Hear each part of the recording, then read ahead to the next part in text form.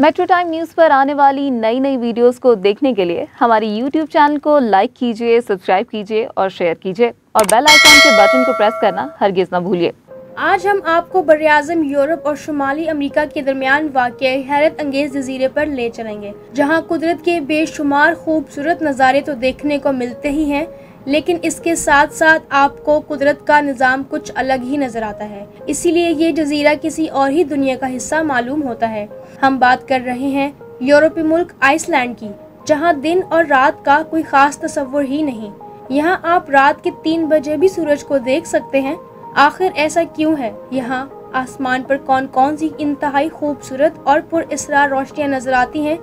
यहाँ के लोगों का तर्ज ज़िंदगी कैसा है और मशहूर TV series Game of Thrones का इस जजीरे से क्या ताल्लुक है? ये सब आज हम इस वीडियो में जानेंगे। महले वकू और तारीख। आइसलैंड का ज़्यादातर हिस्सा अटलांटिक ओशन, यानी बहरे ओकियानूस, जबकि कुछ हिस्सा आर्टिक ओशन, यानी बहरे मुंजमद शुमाली में है। इस मुकाम पर शुमाली अमेरिका, यूरोपियन और एशियाई अर्जियाती प्लेट्स, यानी टेक्टोनिक प्लेट्स आपस में मिलती हैं। यही वजह है कि आइसलैंड पर बहुत सारे आतिशफशा पहाड़ और ग्लेशियर्स और गीजर्स, यानी गर्म पानी के चश्मे हैं। इसीलिए इस जजीरे को the land of ice and fire भी कहते हैं। जोग्राफियाई एतबार से ये जजीरा यूरोप और शुमाली अमरीका दोनों बरआज़मों का हिस्सा है। आइसलैंड का मगरबी हिस्सा शुमाली अमरीकी प्लेट, जबकि मशरकी हिस्सा यूरोशियन प्लेट के ऊपर वाक़ है। इन दोनों प्लेट्स के दरमियान वक्त के साथ साथ गैप में हर साल तकरीबन दो सेंटीमीटर इजाफा हो रहा है। इस जजीरे के हमसाया ममालिक में ग्रीनलैंड, स्कॉटलैंड और नॉर्वे शामिल हैं। आइसलैंड का दारुल हुकूमत रेकाजोक है और इसका सबसे बड़ा शहर भी यही है। आइसलैंड को दुनिया के इन ममालिक में से एक समझा जाता है, जहाँ इंसानी आबादी बहुत देर से शुरू हुई थी। इसे नॉर्वे के महंजुओं ने दरियाफ्त किया और यहाँ सबसे पहले रिहाइश इख्तियार करने वाला शख्स भी नॉर्वे का ही बशिंदा था। इसके बाद नॉर्वे और आयरलैंड के बहुत से गुलाम और महाजरीन यहाँ आकर आबाद होना शुरू हो गए कहा जाता है कि दुनिया की सबसे पहली पार्लिमान का कयाम भी इसी जजीरे पर अमल में आया था। तब तक ये जजीरा एक आज़ाद रियासत था। लेकिन कुछ अरसा बाद ये जजीरा नॉर्वे के कंट्रोल में आ गया था। 19वीं सदी में आइसलैंड डेनमार्क के कब्जे में आ गया और फिर दूसरी जंग अजीम में डेनमार्क और आइसलैंड के ताल्लुक ख़राब हुए। और साथ ही बरतानवी फ़ौजों ने आइसलैंड के दारकूमत पर भी कब्जा कर लिया। आखिरकार 17 जून उन्नीस सौ चौरानवे को आइसलैंड को एक अलग मुल्क का दर्जा मिल गया। सर्द जंग के दौरान अमरीका और आइसलैंड का एक माहिदा हुआ और अमरीका ने स्वेत यूनियन से आइसलैंड के दिफा का जिम्मा लिया।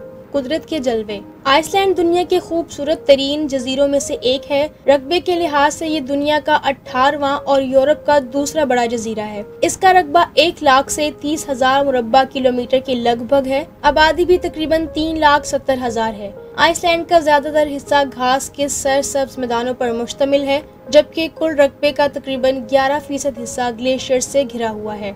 इस खूबसूरत मुल्क में इतनी ज़्यादा आबशारें मौजूद हैं कि इन सब आबशारों को नाम नहीं दिया जा सकता। इसीलिए बेशुमार आबशारे ऐसे हैं जिनका कोई नाम ही नहीं। यहाँ साठ से जायद छोटी बड़ी झीलें भी मौजूद हैं, जो इस जजीरे के कुदरती हुसन में मजीद इजाफा करती हैं। यहाँ के बेशुमार ऊँचे ऊँचे पहाड़ भी देखने वालों को अपने शहर में जकड़ लेते हैं। आइसलैंड के सबसे बड़े ऊँचे पहाड़ की ऊंचाई 6,900 फुट है। अपने महले वकू की वजह से यहाँ का मौसम भी खुशगवार रहता है। अब तक यहाँ का सबसे ज़्यादा दर्जा हरारत तीस इशारिया पाँच डिग्री और सबसे कम मनफी अड़तीस डिग्री सेंटीग्रेड रिकॉर्ड किया गया है। अक्टूबर से जनवरी तक यहाँ शदीद बर्फबारी होती है। इस जजीरे की गर्मियाँ भी हमारे मुल्क पाकिस्तान की गर्मियों की नस्बत ठंडी होती हैं। और आमतौर पर दर्जा हरारत 25 डिग्री सेंटीग्रेड के करीब ही रहता है। सर्दियों में बर्फबारी के बाद घास के मैदान बर्फ़ तले दब जाते हैं। यही वजह है कि मकबूल तरीन television series the Game of Thrones के बहुत सारे सीजन्स इसी जजीरे पर फिल्माए गए थे। इस जजीरे में नॉर्थ ऑफ़ द वॉल का दिखाया जाने वाला सारा हिस्सा दरअसल आइसलैंड में ही था। इसी तरह इसी सीज़न में दिखाई जाने वाली बर्फ़ की कई सौ फीट ऊँची दीवार के सीज़न आइसलैंड के एक ग्लेशियर पर ही शूट किए गए थे। इसके अलावा भी इस जजीरे के बहुत ऐसे मकाम हैं जिनको आपने दी गेम ऑफ़ थ्रोन्स में देखा हुआ है। आपने इस सीज़न में एक इंतहाई दिलचस्प किरदार दी माउंटेन को देखा होगा। ये दरअसल पौने सात फुट हाइट के Icelandic athlete Haf Hafthor Julius Bjornsson और दुनिया के ताकतवर तरीन इंसान, यानी वर्ल्ड स्ट्रॉन्गेस्ट का मुकाबला भी जीत चुके हैं। और कई बार वो इसी मुकाबले में रनर अप भी रह चुके हैं। आइसलैंड पर बहुत से जानवर भी पाए जाते हैं। इनकी खसूसियात यहाँ की आबो हवा की वजह से जरा मुख्तलिफ़ हैं। आइसलैंड के घोड़े आम घोड़ों की नस्बत कद में छोटे होते हैं। यहाँ कई तरह की मछलियाँ पाई जाती हैं। इस जजीरे पर वेल मछली की तकरीबन 20 से ज़्यादा इकसाम मौजूद हैं। यहाँ सफ़ेद लूमड़ी यानी आर्टिक लूमड़ी भी पाई जाती है। लेकिन दिलचस्प बात यह है कि यहाँ भेड़िए पेंगुइन और पोलर बियर्स नहीं पाए जाते।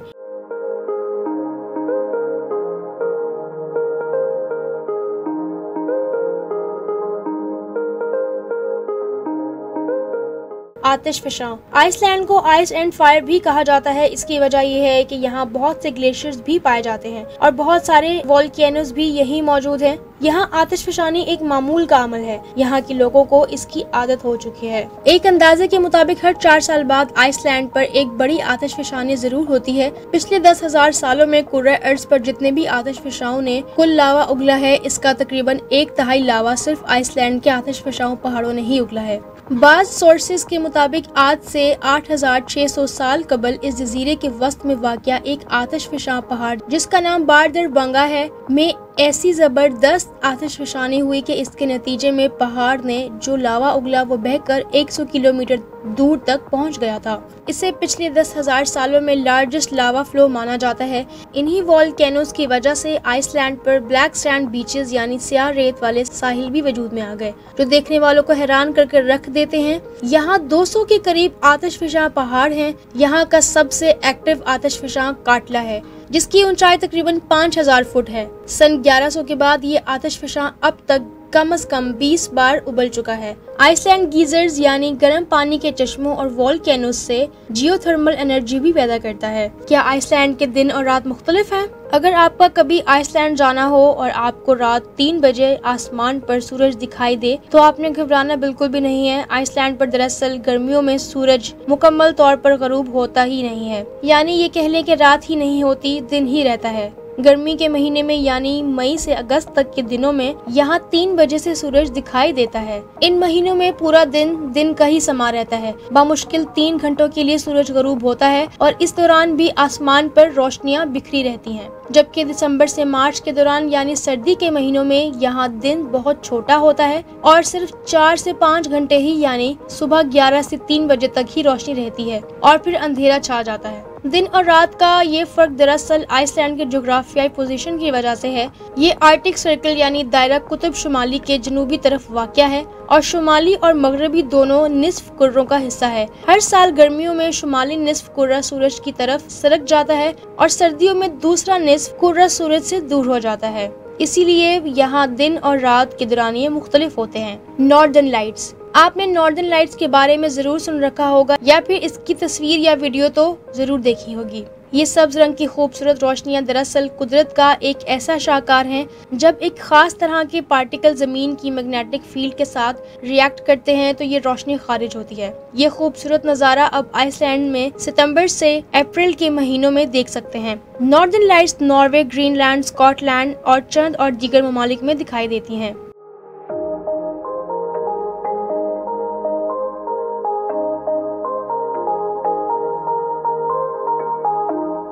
तहजीब सकाफत। आइसलैंड में वाइकिंग्स यानी आठवीं सदी के समुद्री डाकुओं और मुहिंजों से जुड़े किस्से, कहानियाँ बहुत मशहूर हैं। बहुत से लोग इन कहानियों को सच मानते हैं। यहाँ के रस्म रिवाज भी इन्हीं वाइकिंग से जा मिलती हैं। इसी तरह यहाँ रात को चमकने वाले सूरज के बारे में भी बहुत सी कदीम अयास अराइयाँ मौजूद हैं।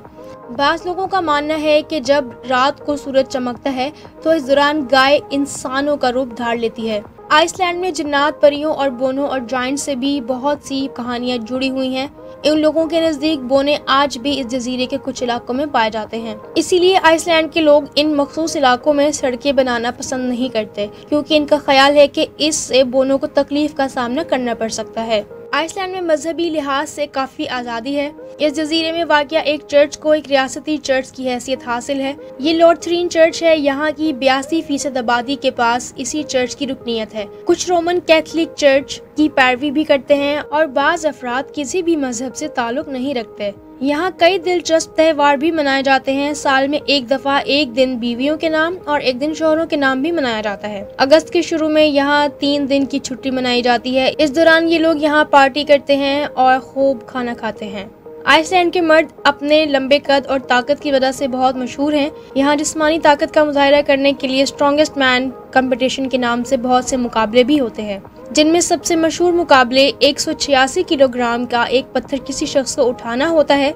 जो ये शख्स मुकाबला जीत जाए यानी कामयाबी से इस पत्थर को उठा ले, इसे स्ट्रॉन्गेस्ट मैन का लकब दिया जाता है। गेम ऑफ़ थ्रोन्स के हाफ़ थोर जूलिस जॉनसन अब तक 10 बार ये मुकाबला जीत चुके हैं। खाने में आइसलैंड में मछली, मटन और दूध की मसनवात मशहूर है। लोग सेहतमंद हैं, तैराकी, घुड़सवारी, फुटबॉल और बास्केटबॉल यहाँ के मकबूल खेल हैं। आइसलैंड दुनिया का चौथा खुश तरीन मुल्क माना जाता है। वर्ल्ड पॉपुलेशन रिव्यू के मुताबिक फ़ी कस डी जी पी एतबार से आइसलैंड 2022 में दुनिया के ममालिक में पंद्रहवे नंबर पर है। सबसे ज़्यादा राइटर्स आइसलैंड में पाए जाते हैं। यानी यहाँ का हर दस में से एक शख्स लिखारी या राइटर है।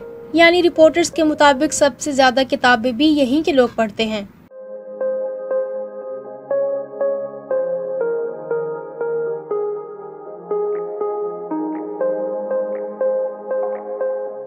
दीगर दिलचस्प मालूम जरा गौर करें तो आइसलैंड के झंडे में तीन रंग हैं, सफ़ेद रंग ग्लेशियर्स, सुर्ख रंग आतिशफिशा और नीला रंग आसमान को ज़ाहिर करता है। यहाँ वज़ीर आज़म हुकूमत और सदर रियासत का सरबरा होता है। आइसलैंड नेटो कारकुन भी है, अलबत्ता यूरोपीय यूनियन कारकुन भी है। ये नेटो का वाहिद रुकन मुल्क है, जिसकी अपनी कोई बाकायदा फौज नहीं। आइसलैंड में सांप मुख्तलिफ़ इकसाम के कीड़े मकोड़े यहाँ तक के मच्छर भी नहीं पाए जाते। यहाँ रेलवे या ट्रेन का सिस्टम भी नहीं है। यहाँ आइसलैंडिक ज़ुबान बोली जाती है और यहाँ के लोगों को आइसलैंडर्स भी कहा जाता है। इस जजीरे की बोली में बहुत से अल्फाज ऐसे हैं जिनके लिए अंग्रेज़ी ज़ुबान में कोई लफ्ज ही नहीं। आपको इस खूबसूरत जजीरे आइसलैंड के बारे में जानकर कैसा लगा? और क्या आपका दिल चाहता है कि आप आइसलैंड विज़िट करें? तो नाजरीन, उम्मीद है आपको हमारी आज की वीडियो पसंद आई होगी। मिलते हैं अगली वीडियो के साथ, तब तक अला के बान